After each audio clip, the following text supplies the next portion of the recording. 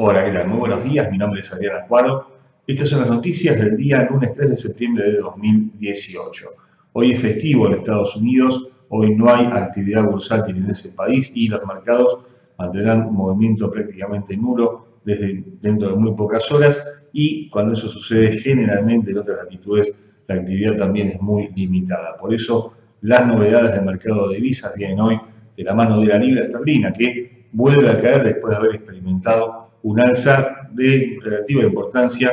La semana pasada había superado con fuerza la zona de 1.30 después de que los negociadores de Brexit, tanto de la parte británica como de la parte de la Unión Europea, hubieran expresado sus deseos de que haya un acuerdo para que la salida, el famoso Brexit que se va a ejecutar en marzo de 2019, sea lo más ordenado posible. Pero el señor Garnier, que es el jefe de negociadores de la Unión Europea, dijo que, bueno, Theresa May no aceptó su propuesta de salida, al tiempo que la propia May descartó la posibilidad de que haya un nuevo eh, referendo para ver si cambian los resultados que claramente cambiarían.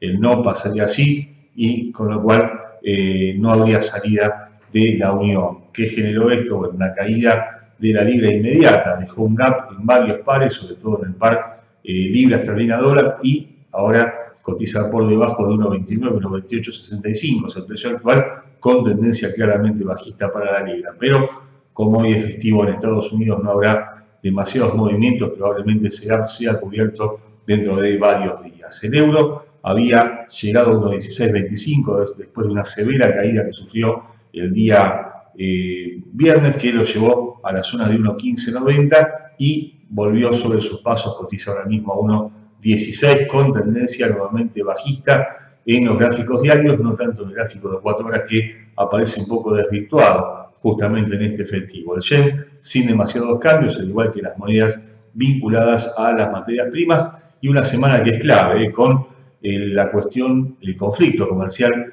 entre Estados Unidos y China que amenaza ampliarse a otras latitudes. Eso justamente fue el motivo que disparó al dólar el día viernes en todos los frentes y con una semana de antes importante que termina con el dato de empleo de Estados Unidos previsto para el día viernes y que probablemente sea un impulso adicional para la moneda estadounidense. Por eso hoy un día más tranquilo, con pocas variantes para dentro de muy pocas horas y lo que parece venir es una semana favorable nuevamente al dólar en prácticamente todos sus cruces. Una excelente jornada de operaciones para todos. Nos vemos mañana martes.